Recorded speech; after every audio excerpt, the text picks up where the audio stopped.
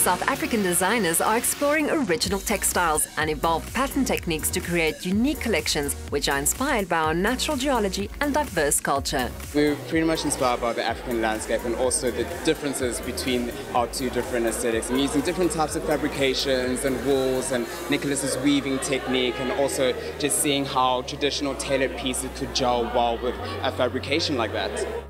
Collaborating for the first time, Lukhanyo Mdindi's strong African aesthetic is the perfect canvas for Nicholas Coutts' artesian weaving technique. We started investigating cactuses and taking photos of exotic plants, and we wanted to kind of translate that into fabrication. So, kind of like moss, algae, and we wanted to have it a very tactile range so when you saw it, you wanted to actually touch it and feel it. Lukhanyo always loves looking back at silhouettes that are very classic and sophisticated, and we wanted to kind of translate that through a modernized version and using fabrication that would complement the weaving. Celebrating 20 years of design, Amanda Laird Cherry reflected on our cultural heritage to modernize traditional Zulu attire.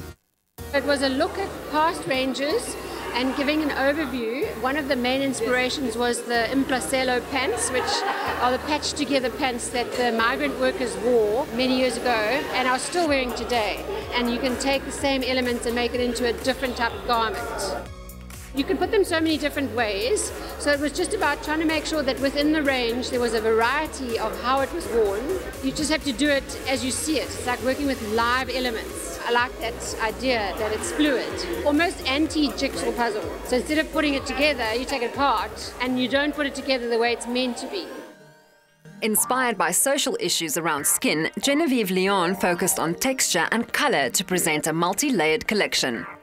The collection is called Makula and it's a very, very heart-wrenching, very close, like emotional collection. It started off with the inspiration from an albino boy with freckles. We took the inspiration from the freckles on a milk face and took it into fashion. We want to bring the beauty of albinoism into life. So it's about the obtrusiveness and the juxtaposition of beauty and the main focus of freckles is individuality and the collection takes inspiration from a lot of military elements and that's like a shield from society having this extreme individual difference we use felt and wool, or like traditional tailored materials to put into garments, and we actually painted freckles onto garments as well, so that if you don't have freckles, you're not excluded. And then we have skin underneath that is actually a texture of skin. It's like a scuba, it's like a diving suit, so it actually feels like skin, gives you that feeling. It's also a play on thick and thin and layered and a heavy layered collection. Layering just comes to me naturally. It's a good way of adding proportion, texture, as well as thickness and heaviness to the collection. With this one specifically, I wanted to be very layered to show that traveler aspect. To represent that albino, is traveling around society to find his place. He's displaced all the time, always traveling. Weaving together diverse fabrics, textures and silhouettes, our local designers have succeeded in representing our own eclectic society on the catwalk.